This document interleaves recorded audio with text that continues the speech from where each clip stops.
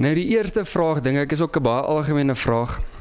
Of kom ons begin by die begin met Ek het nou verneem dat Dominee nie eintlik eers voorgeslagte het wat uh, mens kan terugbind aan die gelofte nie.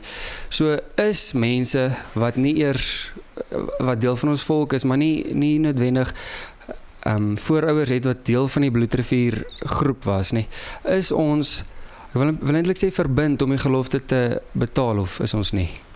Dis 'n baie goeie vraag en kyk is 'n vraag wat mense baie keer vra en uh, soos dat ons ook nou al 'n bietjie vooraf met mekaar gepraat het, dit is baie keer vra mense hierdie vraag juis sodat hulle 'n maklike manier uit dit uit kan kry.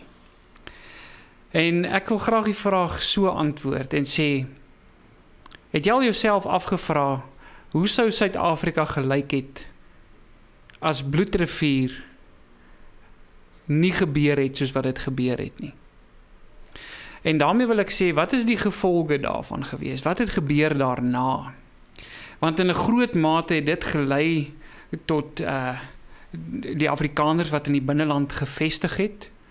Ehm um, die westerse beskawing wat ingekom het in Suid-Afrika, dit het gelei tot groot ekonomiese vooruitgang vir hierdie land. En almal het daaruit vooruit voordeel getrek. So in 'n sekere sin vra my pa altyd, het jy voordeel getrek? uit wat by Bloedrivier gebeur het.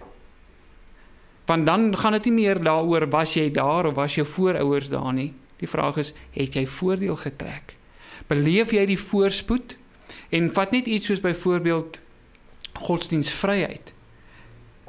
Beleef jy en ervaar jy en geniet jy godsdienstvryheid in hierdie land?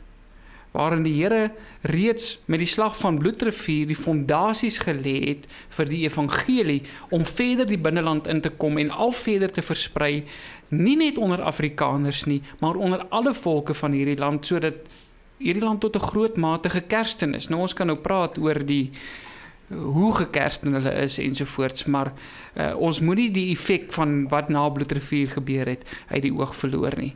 En in daardie opsig eh, kan 'n mens ook nie kies dit wil ek nog die tweede ding wat ek net wil by sê is mense moet oppas dat jy nie net kies watter deel van die Afrikaner jy mee wil assosieer nie. Nee, ek wil Afrikaans wees en en daarom is ek 'n Afrikaner, maar al die ander goed van Afrikanerskap daarmee wil ek niks te doen hê nie. Om Afrikaner te wees is 'n pakkie. Afrikaners se identiteit bestaan nie net uit een of twee goed nie, dit is 'n klomp dinge en dit sluit jou geskiedenis in. 'n geskiedenis waarby ons nie eers almal was nie en ons voorouers miskien nie eers almal was nie. Maar ons het almal of direk of indirek lyne wat daarin loop en is deel van wie ek is en daarom vier ek gelofte dag.